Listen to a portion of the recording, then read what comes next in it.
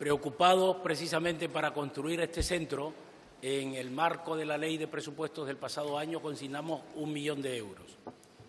Y también preocupado este año para construir ese consultorio local consignamos nuevamente una cantidad. Y ahora habría que preguntarse, presidente, es una de las cosas que habitualmente eh, planteo a las instituciones públicas en general, eh, que hay que reforzar los medios humanos para responder con eficiencia.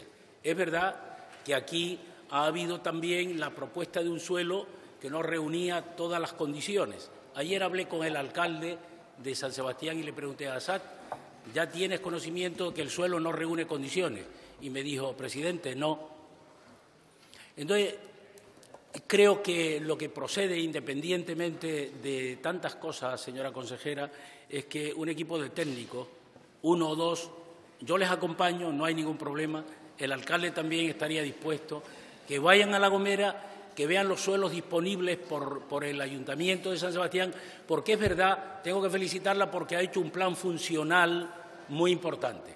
Y lo que el Ayuntamiento preveía como mm, eh, suelo eh, suficientemente dimensionado es insuficiente, porque se requieren del orden de mil eh, metros cuadrados aproximadamente para hacer un consultorio con un plan funcional que atienda a 3.000 personas desde el parador de turismo que usted conoce, de La Gomera hasta La Gallarda 2, viven del orden de 3.000 personas que demandan esta realidad.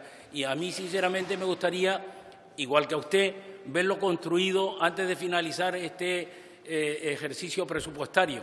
Pero para eso tenemos que ponernos todos a una. Y yo estoy dispuesto de ponerme a la disposición del mismo modo que el alcalde para recibir los técnicos, visitar los lugares y ponerle a disposición el suelo necesario. Así que le agradezco cualquier gestión. Yo sé que la Administración funciona con cierta lentitud, pero vamos a predisponernos y a resolver un problema que seguro aliviará la situación del Hospital Nuestra Señora de Guadalupe porque atiende a los vecinos en ese lugar. Muchas gracias.